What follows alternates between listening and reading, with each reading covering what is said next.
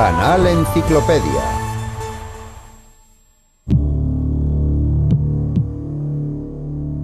El 28 de mayo del año 585 a.C., los ciudadanos de Mileto, en Asia Menor, estaban aterrorizados y afligidos. El sol parecía desaparecer de una manera inesperada. Solo una persona, un sabio llamado Tales, mantenía la calma. No vio nada sobrenatural en el acontecimiento. Fue él quien consiguió calcular de una forma aproximada el eclipse de sol. Con un conocimiento enciclopédico Tales no se consideraba ni el dios del sol, ni un profeta, ni una divinidad. Simplemente era competente en astronomía, en metafísica y en matemáticas. Los contemporáneos le rindieron homenaje nombrándole uno de los siete sabios de Grecia.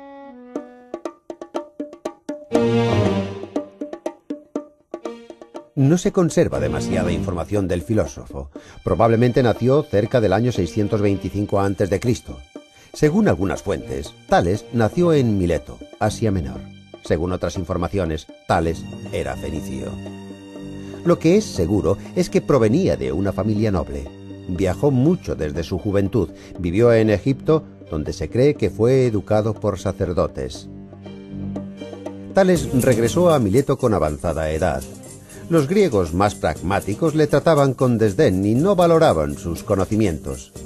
Por esa razón, Tales, que nunca se había interesado en el comercio o la agricultura, repentinamente comenzó a hacerse con todas las prensas de aceite. La gente pensaba que estaba loco. Pero los que le juzgaron pronto se dieron cuenta de su error. Cuando el filósofo comenzó su cosecha de aceitunas, se volvió abundante y próspera. Utilizando su habilidad de predecir el tiempo, obtuvo muchos beneficios vendiendo a los habitantes de Mileto la cosecha de aceitunas que había cultivado. En consecuencia, los habitantes no tuvieron otro remedio que llamarle sabio. Pero los intereses sobre el comercio se desvanecieron y Tales comenzó a interesarse por la filosofía.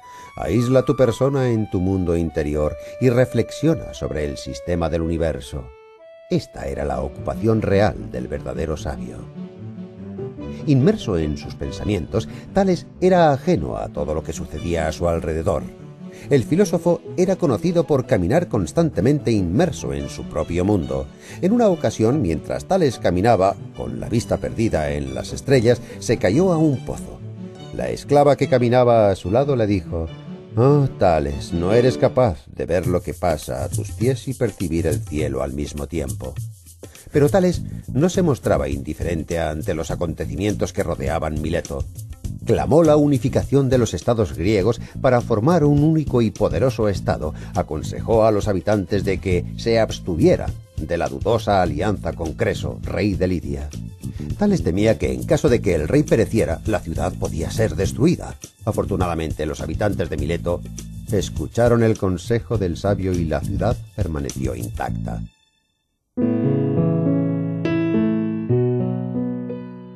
Tales es justamente llamado el fundador de la filosofía antigua. Ya en el siglo VII a.C., los científicos griegos, habiendo meditado sobre los principios básicos de la existencia, nominaron este arte como arche.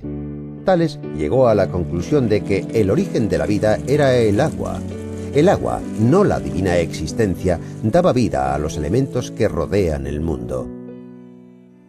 Gracias a Aristóteles, Tales fue catalogado como un materialista elemental. Existe la teoría de que Tales no fue el artífice de esta idea. Se dice que la cogió prestada de la educación religiosa de los babilonios, fenicios y egipcios, quienes concebían el mundo tras el caos de una inundación. Sus contemporáneos no sólo contemplaban asombrados la sabiduría filosófica de Tales, el científico poseía conocimientos incomparables de geometría, meteorología y agricultura. Asistió al rey Creso para crear estructuras de ingeniería para la guerra contra los persas. Además, Tales aconsejaba a los marineros que se orientasen con la cola de perro u osa menor para determinar la posición del norte.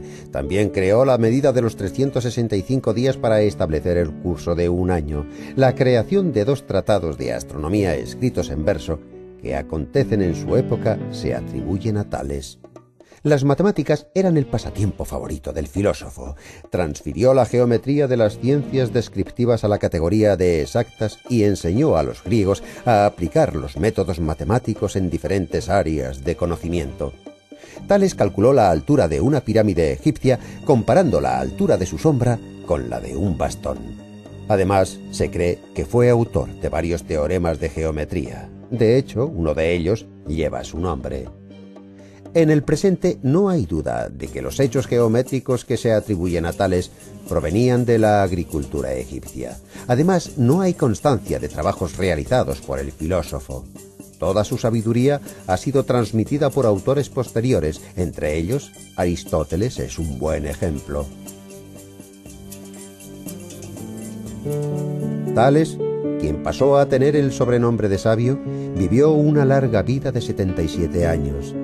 Según sus contemporáneos, Tales murió expectante en una competición gimnástica debido al calor, a la sed y a su debilidad senil.